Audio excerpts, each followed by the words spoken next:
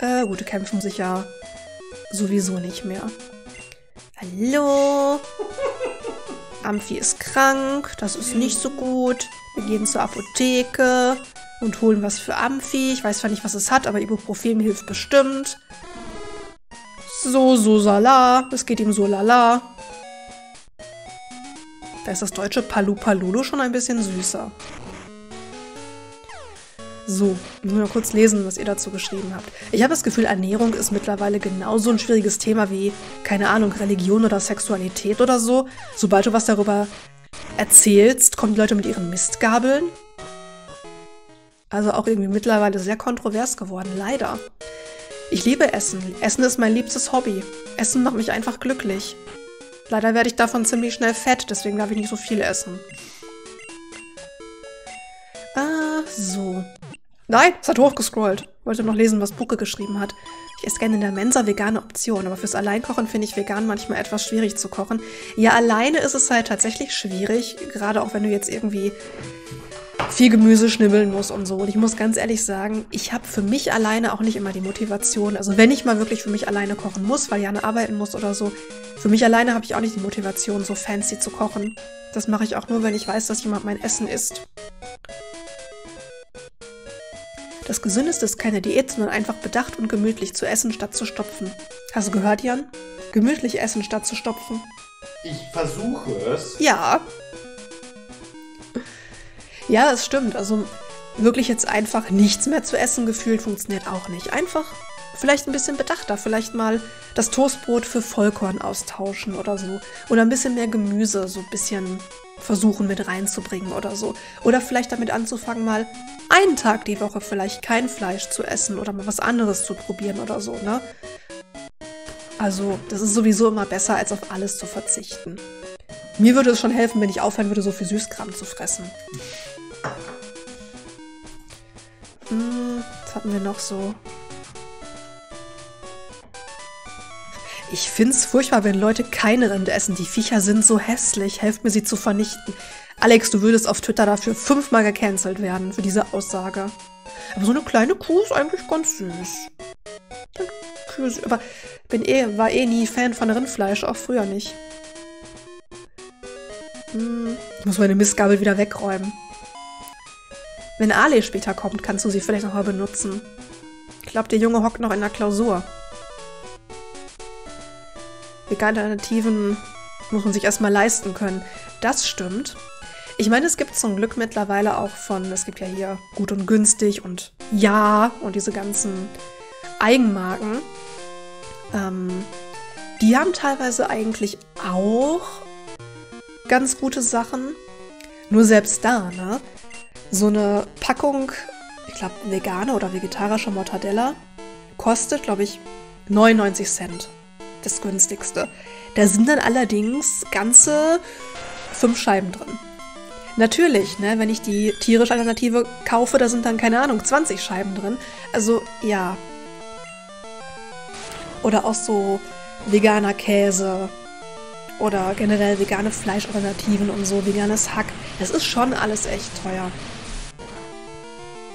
Na, ich bräuchte noch mal irgendwas, was nicht Wasser ist. Mal gucken, ob Leo vielleicht eine Kopfnuss oder so lernen kann. Das wäre nochmal ganz praktisch. Aber ich finde das einfach, ich sage das ja wirklich immer wieder, ich finde es einfach so wichtig, dass jeder sein Leben so gestaltet, wie man halt möchte. Weil es gibt halt irgendwie keine perfekte Lebensweise oder keine Schablone, die man bei jedem einfach anwenden kann. Ne, und das kannst du auf alles beziehen. Das kannst du so auf ähm, ja, schulische Laufbahn und Beruf und all das irgendwie beziehen auf Beziehung, auf Wohnsituation, auf Ernährung, auf Religion, auf alles. Ne? jeder Mensch ist doch so individuell. Und ich meine, klar, manche Dinge kommen uns vielleicht einfach seltsam vor, wenn irgendwer ähm, was erzählt, was wir selber so nicht machen würden. Oder Dinge, die halt wirklich eher selten vorkommen. Und man neigt natürlich dann auch sehr schnell dazu, so ein bisschen zu verurteilen. Ne? Wenn du jetzt Leute hast, die, sag mal, mit 40 noch ihren Beruf wechseln und mit 40 noch mal studieren gehen zum Beispiel. Ne? Oder wenn jeder, jemand eine ganz spezielle Art und Weise hat, sich zu ernähren oder so. Ne?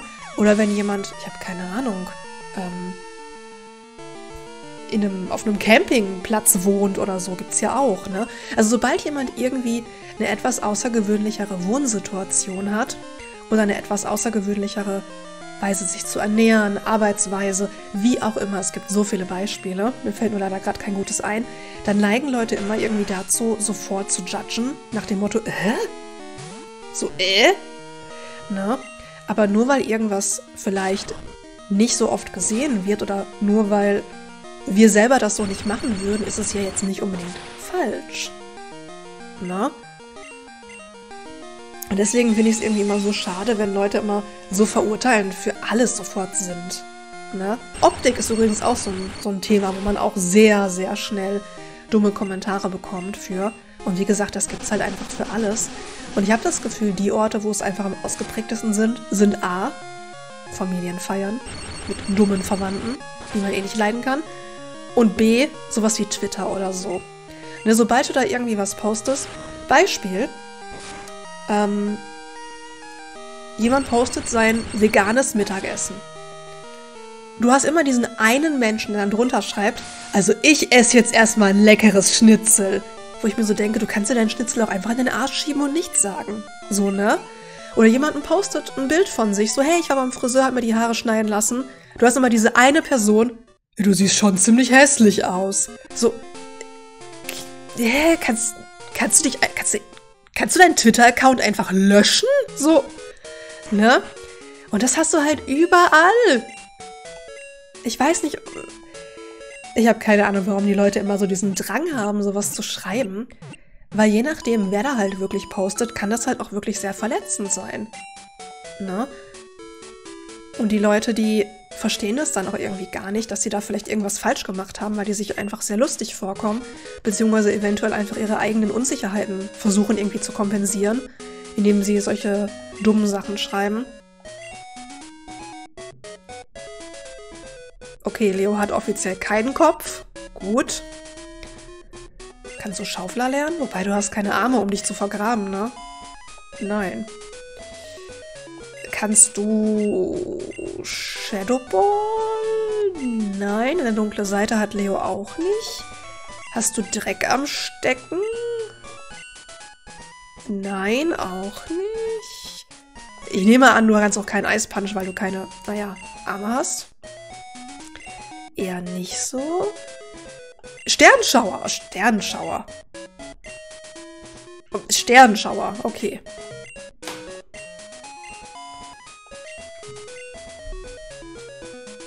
Immerhin Sterne kann Leo pupsen.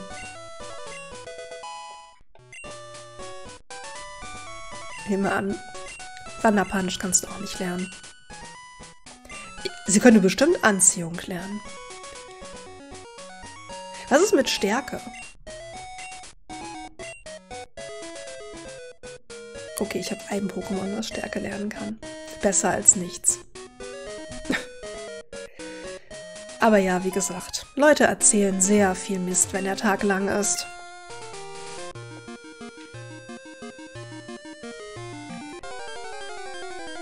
Gerade so im Internet. Oh, ist das Tentoxa? Sieht aus, wenn da irgendwie so ein lustiges äh, Männchen drin wäre. Das in der Mitte sieht für mich einfach aus wie so ein Ah, wie heißen die Dinger aus Kingdom Hearts? Ich habe Kingdom Hearts nie gespielt. Die kleinen schwarzen Wesen. Sind das die Herzlosen? Jan, hilf mir. Wie heißen die kleinen schwarzen Männchen aus Kingdom Hearts? Die Herzlosen? Ja, sind die das? Okay. Das sieht aus, als wenn da ein herzloser Intentoxer drin stecken würde für mich. Kingdom Hearts wäre auch sowas, was ich vielleicht irgendwann mal ausprobieren sollte. Aber versuch nicht die Story zu verstehen. Du hast mir die Story mal irgendwann erklärt. Nein, ich habe sie dir erzählt, nicht erklärt. Zu erklären muss ich es selber verstehen. Ah, ich weiß, es ist auch wieder so eine Reihe, wo ich mir denke, Oh, es ist schon so ein Batzen, wenn du da einmal anfängst. Du musst Aerial Battles mögen. Ich mag keine Aerial Battles. Das Kingdom Hearts nichts für dich. Ich hab gerne festen Boden unter meinen Füßen. Den gibt's in Kingdom Hearts nicht. Oh. Aber Kingdom Hearts 3 sah sehr witzig aus, das habe ich bei dir gesehen. I think I found some ingredients over here. Stimmt. Oh, die Quietscheente, die kenne ich irgendwoher. Aber ich habe Sternschauer. Was hast du?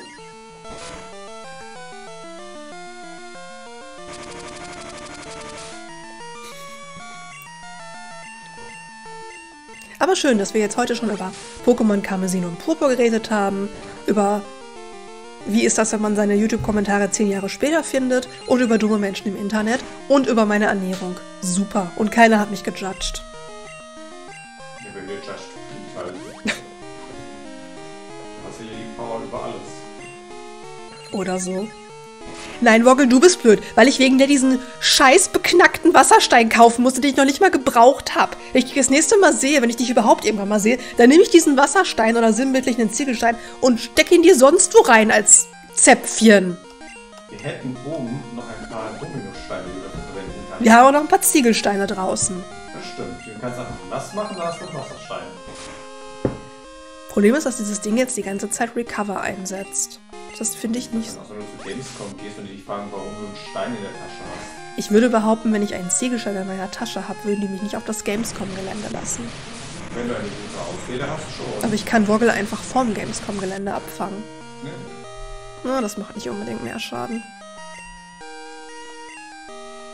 Na gut. Dann habt ihr zu wenig Steine für eure Einfahrt. Nein, nein, das passt schon.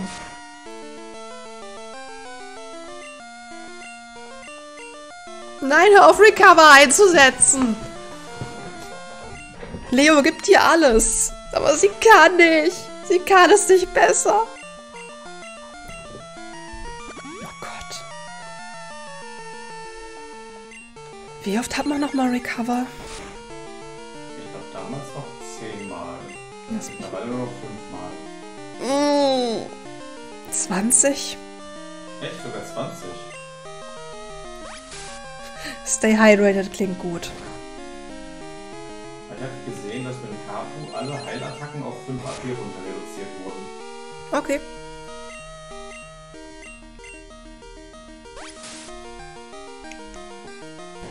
Die Sache ist, er muss ja nur mal choken. Oder Leo muss critten. Alternativ nehme ich auch beides. Ich meine letztens gesehen haben das alle. Also auch sowas wie Ruhrort oder sowas in der Richtung. Halt alles nur noch 5 AP. Okay. Und das halt alles so an Synthese, Mondschein und sowas eingeglichen wird. Ja, sehe ich. Aber guck mal, sie holt langsam auf. Sie hat schon 25 mittlerweile. You can do it. Wie ist eigentlich eure Strategie, wenn ihr solche großen Gebiete habt? Macht ihr das auch wie ich, dass ihr einfach von links nach rechts schwimmt, dann wieder ein Stück runter, dann wieder nach links, wieder ein Stück runter, dann nach rechts oder einfach irgendwie nach Gefühl querbeet? Nein, warum schon wieder? Habe ich noch? Ich habe nicht mehr sonderlich viel Sternenschauer. Ich glaube, ich sollte lieber entweder ich habe Glück oder ich muss gleich mal wechseln, weil ne?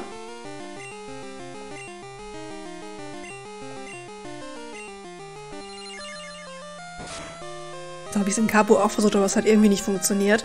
Ich habe mir in Capo immer Sachen auf die Karte halt gesetzt, also diese, diesen Pin da, weil ansonsten hätte ich mich einfach gar nicht zurechtgefunden. Oder ich bin Jan hinterhergelaufen, das ging auch manchmal ganz gut. Also ich hab's nicht so mit Orientierung. Deswegen sind immer so lineare Routen, die nicht ganz so breit sind, sogar ganz lieb. Weil ich dann halt auch wirklich weiß, dass ich alles mitgenommen habe. Was habe ich verpasst? Genesung. Viel Genesung. Hallo Ale, wie war deine Klausur?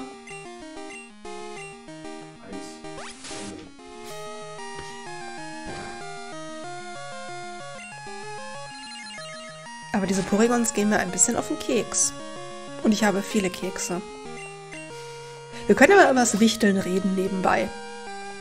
Wir haben heute schon so viele Themen durchgehabt, aber das ist auch schon wieder so was, wenn man sich das dann später anguckt, denkt man sich auch so, wovon redet sie eigentlich? Dann wiederum, ich habe heute schon über Pokémon Carbo geredet, ich habe über Weihnachten gesprochen, ich habe über alles Mögliche gesprochen und über auch irgendwelche persönlichen Dinge, die sich in einem halben Jahr auch schon wieder geändert haben können. Dann kann ich auch über, über Weihnachtswichteln reden. Äh, du hast noch 24. Falls ihr es übrigens noch nicht mitbekommen habt, wir haben jetzt schon mehrfach ein Wichteln organisiert. Und das ist tatsächlich, finde ich, sehr witzig, weil ich glaube, ich weiß gar nicht, wie mir die Idee dazu gekommen ist ursprünglich. Wahrscheinlich auf dem Klo, so wie immer. Oder es war deine Idee und du hast mich gezwungen, das umzusetzen. No. Aua. Aber ich, ich habe es zumindest noch nie irgendwo in der Form gesehen. Also ich meine, Wichteln ist natürlich bekannt. Dieses, ne, jeder hat seinen Namen auf den Zettel geschrieben, wird alles in der Kiste gepackt und dann zieht jeder einen Namen und muss dann für die Person, die er gezogen hat, eben ein Geschenk kaufen. Das haben wir in der Schule auch teilweise gemacht, aber äh, da kam halt irgendwie meistens nur Schrott bei rum, ehrlich gesagt. Aber ich sag mal so, dieses Prinzip, ne, so vom Wichteln ist ja, glaube ich, eigentlich recht bekannt. Nur, dass wir das natürlich bei uns eben so handhaben, dass ihr eben nicht wisst, wer euer Paket bekommt. Ne, das heißt, es ist so ein bisschen so ein Blindwichteln irgendwo. Ähm, ich habe auch ehrlich gesagt keine Ahnung, was mich da geritten hat, so viel Aufwand auf mich zu nehmen. Aber irgendwie funktioniert es einfach dass ja vom Prinzip her ihr ein schönes Paket packt mit coolem Stuff, das zu uns schickt. Wir lagern die hier, gucken, ob alles ganz geblieben ist, tauschen gegebenenfalls Stuff aus, wenn irgendwo was kaputt gegangen ist oder ergänzen noch ein bisschen was, wenn das Paket noch halbwegs leer ist. Oder tauschen den Karton aus, wenn er kaputt ist. Solche Sachen halt einfach.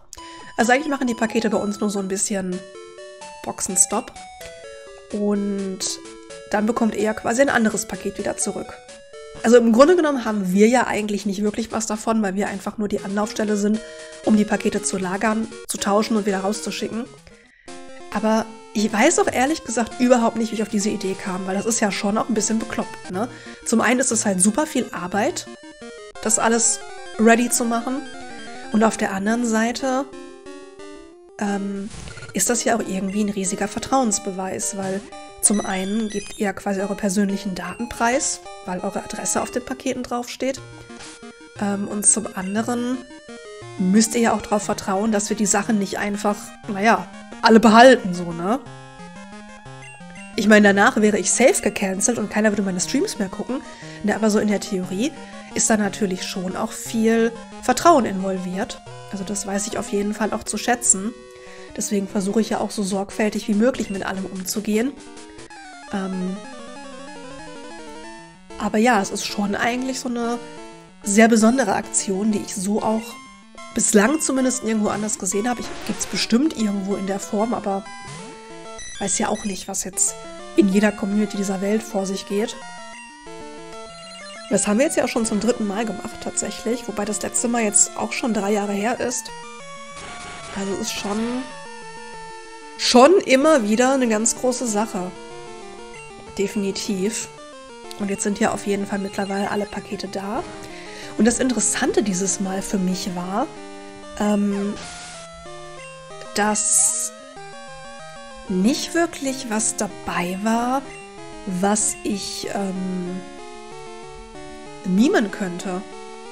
Also in der Vergangenheit habe ich aber schon öfters mal Stories erzählt vom Wichteln, von irgendwelchen Müsli-Kartons, die benutzt wurden als Paket und irgendwelche zerbrechlichen Sachen, die in den Paketen drin waren, die dann nicht eingepackt waren und dann als Scherbenhaufen hier ankamen. Ähm, oder dass teilweise Manga reingetan wurden, wo dann teilweise Band 50 drin lag, was vielleicht auch nicht so Sinn der Sache ist. Oder Pakete, die gefühlt komplett leer hier ankamen. Ähm, oder Leute, die dann mit mir darüber diskutieren wollten, warum sie aber gerne diesen Karton nehmen wollen. Obwohl das in den Regeln so nicht drin stand. Also, es gab einige interessante Stories in den letzten Jahren. Und Oh, wie siehst du aus? Interessant auf jeden Fall. Sieht so ein bisschen für mich wie eine Fusion aus Shiggy, Bisasam und Glumanda aus. Und ich muss sagen, dieses Jahr. Ähm, oh, du bist ein Drache. Hm. Okay. War tatsächlich eigentlich alles ziemlich gut. Also ich meine, klar gibt es immer Sachen, wo vielleicht mal irgendwie ein Weihnachtsmann geschickt wurde und ähm, der ist in der Mitte durchgebrochen oder so. Ähm, oder dass irgendwie mal der Karton nicht richtig gefaltet wurde oder so, klar. Aber alles so Kleinigkeiten, aber richtig so Kartons, wo ich mir so dachte, what the actual fuck is this? Ähm, nee, also eigentlich hat sich auch jeder immer an die Regeln gehalten und ähm, das finde ich echt krass. Also mittlerweile habe ich scheinbar so ein strenges Regelwerk, dass gar nicht mehr so viel Spielraum für Totalausfälle ist. Das ist irgendwie gut und schlecht zugleich, weil die Stories rückblickend betrachtet immer sehr lustig waren. Das Ding war übrigens echt gefährlich. Wie sieht mein Team aus? Ah. Könnte besser sein, könnte auch schlechter sein. Ja, die Post will nicht immer mitspielen, das stimmt, aber so an sich hat es diesmal echt ganz gut geklappt. Und es ist halt auch immer so krass, wie viel die Teilnehmer noch für uns mit dazu packen, weil das ist ja eigentlich ähm, keine Bedingung oder so, ne, wenn ihr mitmacht. Ich erwarte jetzt nicht, aber wenn ihr beim Wichteln mitmacht, müsst ihr mindestens eine Tafel Schokolade für uns dabei legen. Nee, ich finde das auch überhaupt nicht schlimm, wenn nichts für uns dabei liegt, weil das ist ja nicht Sinn der Sache. Ähm, und ehrlich gesagt, ich freue mich einfach total auf die ganzen glücklichen Gesichter hinterher, wenn ihr eure Pakete aufpackt, auspackt und so. Und ich sag mal, ihr seid bei so vielen Streams anwesend. Ne? Und kommentiert und teilweise bekommen wir Fanarts und süße Nachrichten und viele unterstützen uns ja auch mit Subs beispielsweise oder so. Oder wenn wir Events haben, dann ist da auch wirklich immer viel Hype mit dabei. Also ähm, ihr supportet unseren Content ja doch eigentlich schon. Ne? Auf sehr coole Art und Weise. Und deswegen finde ich einfach solche Events auch immer ganz schön, um einfach auch so ein bisschen was zurückzugeben irgendwie. Ähm, weil Tatsache ist, wenn ihr nicht da wärt, dann würde es ja die ganzen Streams und den Discord-Server und die Events und so in der Form auch gar nicht geben. Deswegen könnt ihr euch da schon mal selber auf die Schulter klopfen dafür, dass ihr echt cool seid. Und deswegen, ähm, ja, will ich auch eigentlich gar nichts im Gegenzug dazu für haben, dass wir solche Events machen. Und trotzdem haben halt voll viele Leute was dazugelegt, was ich halt super lieb fand. Ähm, es ist, wenn ihr heute auf Twitter mal geguckt habt oder auf Discord, halt wieder super viel zusammengekommen an Süßkram. Mehr als wir auch wirklich selber essen können. Deswegen werden wir auf jeden Fall auch einen Teil davon dann nutzen, um andere Wichtelpakete wieder aufzufüllen. Ich hoffe, dass sich da auch niemand angegriffen fühlt, wenn wir teilweise die Süßigkeiten, die wir von euch bekommen haben, wieder weiter verschenken. Es ist dann auch gar nicht böse gemeint, so nach dem Motto, was schicken die mir für einen Scheiß? Aber es ist halt einfach so viel und ich möchte halt auch keine Lebensmittel verschwenden, ähm, dass ich sage, dann verschenke ich es lieber weiter und jemand anderes freut sich drüber, als wenn es bei uns abläuft. Ne? Also ich denke, das ist dann schon nochmal ein bisschen sinnvoller. Deswegen hoffe ich, dass da niemand traurig ist, wenn eure Tafel Schokolade auf irgendeinem anderen Wichtelpaket dann plötzlich in irgendeinem Wichtelpaket oder auf irgendeinem Foto von einem Wichtelpaket zu sehen ist, weil ich Ostern euch in meine Tür passen möchte, ja. Also ich habe die Sachen halt schon so ein bisschen geordnet ähm, nach Haltbarkeitsdatum, dass wir halt wirklich gucken, dass wir es in einer sinnvollen Reihenfolge auch konsumieren. Aber nichtsdestotrotz viele Weihnachtssüßigkeiten, allen voran sowas wie Dominosteine, die sind halt meistens nicht so mega lange haltbar. Und dementsprechend, ich. Wir können nicht so viel essen. Und dann packe ich es dann, wie gesagt, doch lieber in andere Wichtelpakete noch wieder mit rein, dass sich andere Leute darüber freuen. Ich hoffe nur, es wird mir safe passieren, aber trotzdem, Ich hoffe nur, dass ich euch quasi eure eigene Schokolade nicht wieder zurückschicke. Das weiß ich halt nicht, weil ich nicht weiß, was von wem ist, weil das schreibe ich mir jetzt nicht aus. So, Sophie hat mir das geschickt. Und Woggle hat mir das geschickt. So, das schreibe ich jetzt nicht auf, deswegen es könnte legitim passieren, so, dass ich irgendwie eine Packung Kinderregel zuschicke, der mir auch eine Packung geschickt hat. Ups!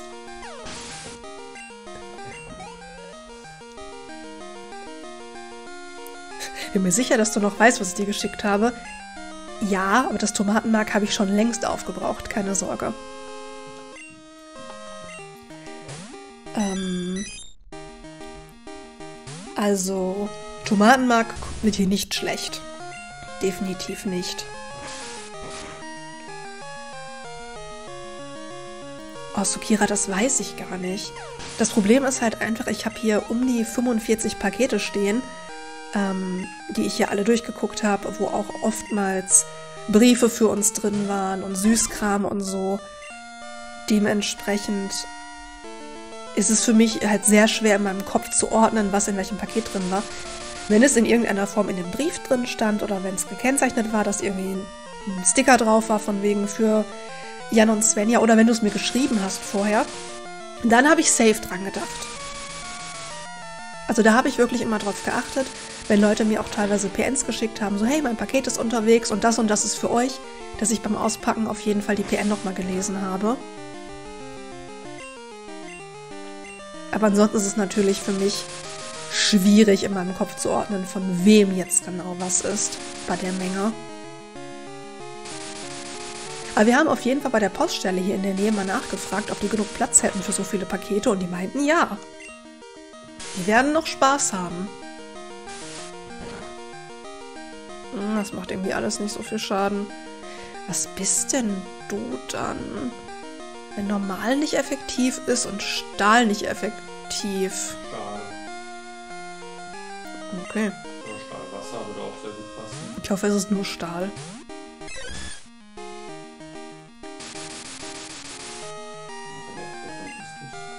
Aber ich habe jetzt gerade Feuer.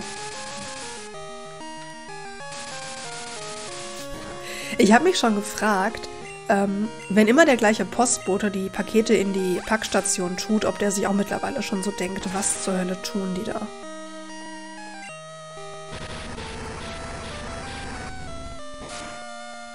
Ja, könnte wirklich Stahlwasser sein.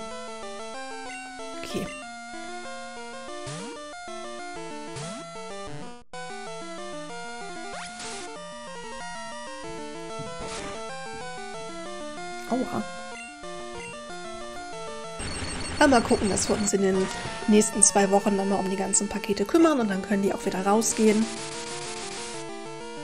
Und dann bin ich mal auf die ganzen Reaktionen gespannt. Ich konnte tatsächlich auch die meisten Adressen direkt lesen. Ich meine, manche Leute haben auch eine schöne Schrift, aber neigen dann vielleicht auch dazu, die Buchstaben recht eng aneinander zu packen. Und dann ist es manchmal doch ein bisschen schwer zu lesen oder man ist sich nicht ganz sicher. Also ich habe sehr oft tatsächlich die Postleitzahlen gegoogelt, um zu gucken, ob ich es wirklich richtig gelesen habe. Aber ich glaube, die meisten Leute haben sich auf jeden Fall Mühe gegeben, alles möglichst lesbar zu gestalten. Da bin ich auch sehr dankbar für. Ich hatte tatsächlich ein Paket und da kann halt auch niemand was für, weil ihr schreibt halt so, wie ihr schreibt. Ne? Aber ich hatte ein Paket, wo ich legitim nichts drauf lesen konnte. Ich konnte noch nicht mal den Namen lesen. Nichts. Ich wusste nicht, von wem das ist. Ich wusste nicht, woher das kommt. Nichts.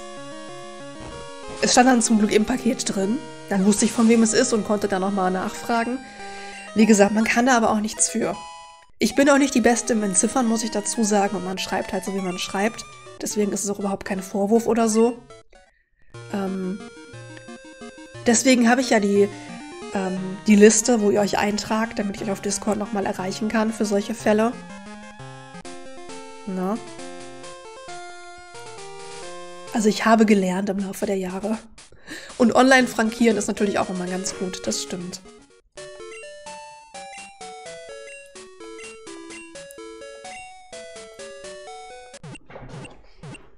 Aber auf jeden Fall haben wir jetzt erstmal genug Süßkram.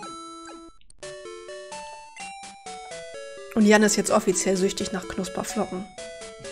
Ich glaube, mittlerweile bin ich wieder drüber hinweg. Oha.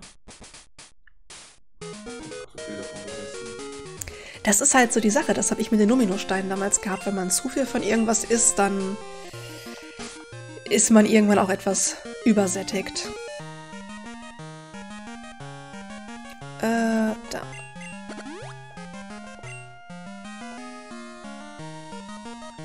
So, wir waren auf jeden Fall bis zu den Strudelinseln schon mal gekommen, glaube ich. Genau, bis hier. Dann können wir da einmal... Wait, welche Strudelinsel habe ich hier? Moment, hier ist schon... schon richtig. Warum sind die hier vom Level so hoch? What the fuck? Warum? Kann ich abhauen? Okay. Random Level 32 Tentara, okay. Guten Tag. Also selbst die Tentoxa da vorne hatten irgendwie Level 25 oder so.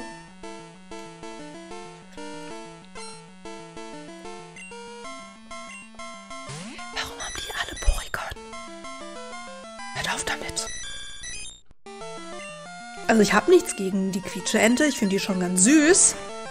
Aber ich habe was dagegen, dass der Gegner halt ähm, Dings, Genesung kann.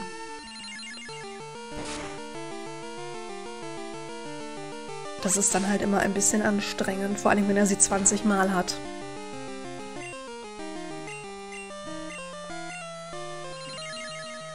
Aber ansonsten ist das Jahr bald schon wieder um. Und das bedeutet auch, dass da noch ein Porygon kommt, dass unser Discord-Server nächstes Jahr tatsächlich schon vier Jahre alt wird, oder? Vier? Drei? 19, okay. Ist ja von 2000. 20. Doch, ist von 2019, oder? 19 gesagt. Ja, ne? Es kam mir gerade so unglaublich viel vor, aber ja, ne? Der, ja, es war 2019. Und ich bin ja auch 2019 Twitch-Partnerin geworden. Weil wir haben ja, Jan und ich haben ja, ähm, glaube ich, auch 2019 auf die Streams umgestellt, richtig? Von YouTube auf die Streams. Diese Projekte liefen halt dann noch aus, aber an sich ja. Und ja, 2019 haben wir quasi auf Twitch umgestellt, mehr oder minder. Ich bin Twitch-Partner geworden und wir haben den Discord-Server gegründet. Wir haben geheiratet, das kommt auch noch dazu. Wir haben viel gemacht 2019. Nintendo, Dankeschön für 50 Monate Treue auf Stufe 2. Super lieb von dir.